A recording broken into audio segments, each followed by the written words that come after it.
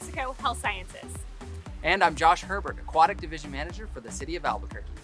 We're coming to you from the Rio Grande Pool as part of our continuing partnership with the city. Today, we're going to be talking about PFDs, that's personal flotation devices. We're also going to be demonstrating a parent tot class, that's ages six months to two years of age. Plus, we're going to be giving you some tips and tricks to keep your kids safe from the sun and what is proper sunscreen for them. So let's get started.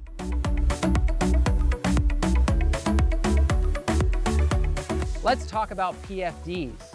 I have three examples here today. We have an adult life jacket, a child life jacket, and a vest.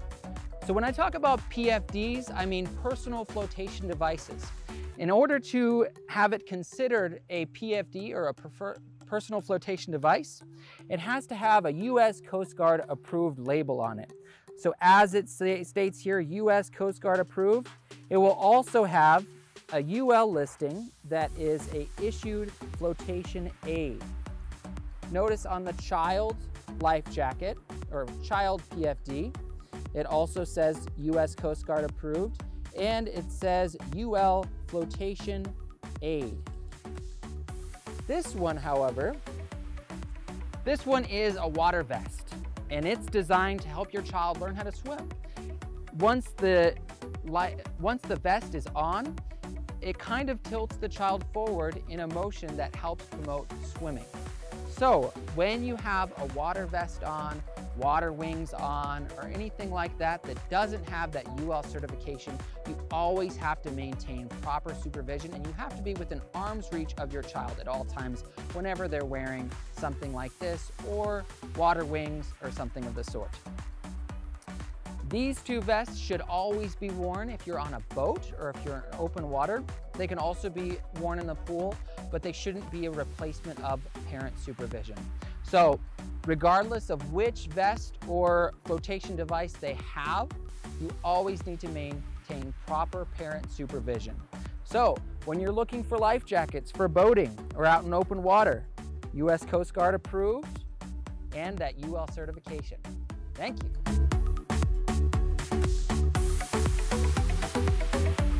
Hi, my name is Julia Witten and I am the swim lesson coordinator for the City of Albuquerque Public Pools. Today, we'll be going over parent tot and all the things you need to know to have fun in the water with your toddler. Specifically, we'll be going over pool entries, holding positions, comfortable water explorations, jumping in, getting comfortable with floating, and blowing bubbles. The first entry we're going to be talking about today is step entry. A lot of pools have these steps available for your child and you to really ease into the water. So what you're gonna wanna do is you're gonna wanna hold your child's hand and carefully and slowly help them in the water step by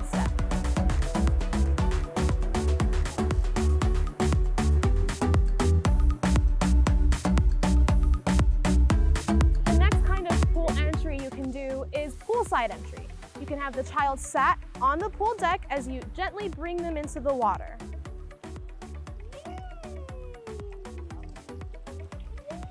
The first holding position we're gonna go over is face-to-face -face position.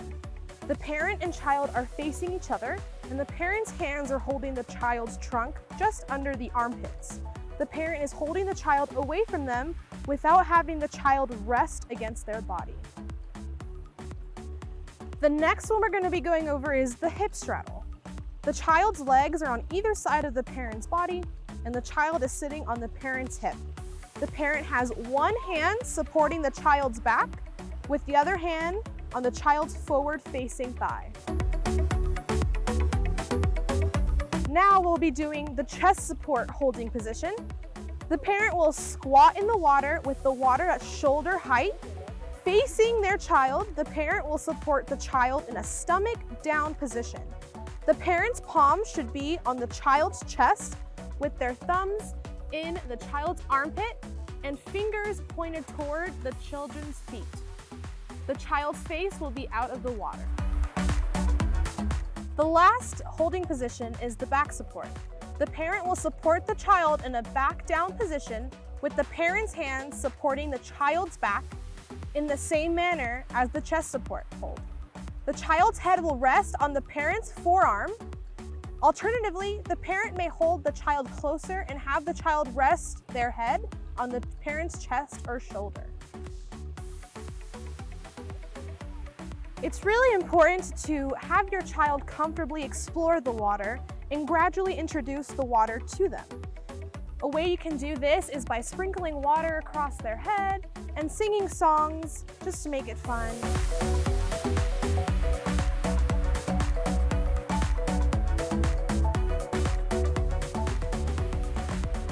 As your child is beginning to become more comfortable jumping in, it's important that you start by only having the child submerge up to their waist and work up to the next skill, going underwater. Do it slowly and comfortably. The next thing you can implement and introduce to your child is the floating positions. The first one you can do is the front float. You can utilize toys to help them with this, having them stretch out their arms in what we like to call a Superman float as they grab for those toys. Another thing that you can also introduce while holding them in the float is leg movement and arm movement. Specifically, kicking is really good for them to get in this position and it really helps them gain that muscle memory. All right, next we'll be doing a back float. Something that you can tell your child that helps them to really engage in this position is to look up to the sky. All right, next we'll be going over blowing bubbles. It's really important that you're holding your child in a face-to-face -face hold while doing this. You also want to demonstrate for your child how to blow the bubbles with just their chin and mouth under the surface of the water. Make sure that their nose stays above water. You want to build up this skill until their whole face is underwater. Make sure that you notice how comfortable they are and only go off of that.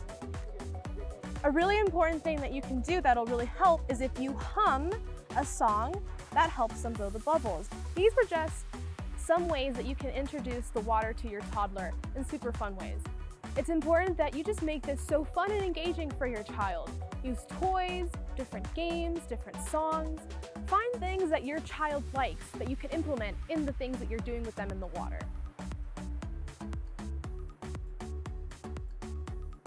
Hi everyone, we're going to be talking about sunscreen. It's a very beautiful sunny day out. We're at the Rio Grande outdoor pool and uh, although it's very beautiful out and it's very inviting to get into the water, we want to make sure that everybody stays safe. So today I'm going to be talking to you about proper sunscreen. So first off, we've got many different types of sunscreen here as a demonstration.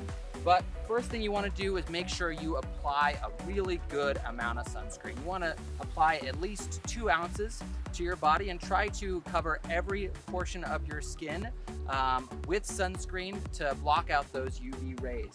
Um, it's sunny out right now. We've got a few clouds in the sky. If it's overcast completely and the sun's being blocked out, uh, a lot of people think that it might be okay to go out in the sun without sunscreen on, but actually the clouds only block out about 20% of the UV rays. So you're still getting uh, some harsh UV rays and even uh, with that cloud cover, it's going to be intensifying those UV rays. So you still need to wear sunscreen on even though it might be cloudy out.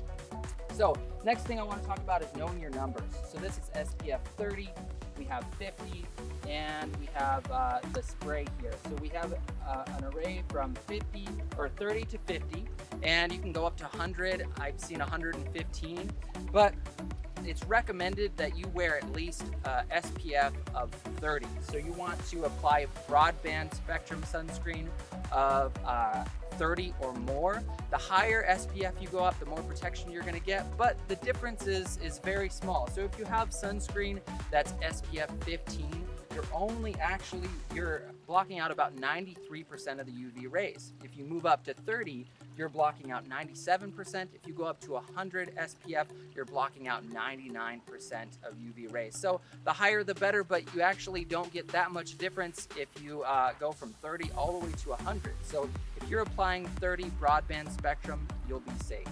The other thing we have to think about is it's very hard to get every portion of your skin. So uh, you want to uh, prevent uh, the sun from hitting your face. You can wear a hat that blocks out the sun. Uh, we have smaller hats for children. If you have children, make sure they have hats on. Also, wear, sun, wear sunglasses to protect your eyes. So we've applied our sunscreen, at least two ounces on our body, and we want what a lot of people forget is to reapply. You want to reapply on a regular basis, at least once every two hours. So reapply every two hours and try to avoid peak times in the day if you can. So those peak time, times where the sun is right above you, really harsh, is between 10 a.m. and 2 p.m. So if you can avoid those really harsh times of the day, that would be a good way to avoid those effects of the sun. If not, make sure you wear plenty of sunscreen. Um, the last two things I want to talk about, one is tanning beds. So tanning beds uh, are very risky, so you want to try to avoid tanning beds um, and, uh, get your sun exposure from uh, the natural light and make sure you wear plenty of sunscreen. If you're worried about getting that tan, wearing sunscreen still allows you to tan the skin. And uh, the last thing I want to talk about is vitamin D. People worry about not getting enough vitamin D and they all want to wear sunscreen because they want to get that vitamin D. But actually, you only need about 15 minutes of sun exposure every two or three days to get enough vitamin D. So, um, and that's you most people get from either driving or walking into the store. Um, so you'll get plenty of vitamin D. What our main concern is avoiding risks of cancer and uh, intensifying aging. So you want to make sure that you wear plenty of sunscreen, wear proper protection, and uh, be safe. Thank you. We're so grateful for this partnership with the City of Albuquerque, but we want to remind you, these videos are not intended to be substitutions for swim lessons. Please be sure to get your child or yourself swim lessons at either the city or another licensed facility. We really hope you've enjoyed watching these, and if you've missed any of the segments, you can always catch them online or our social media channels.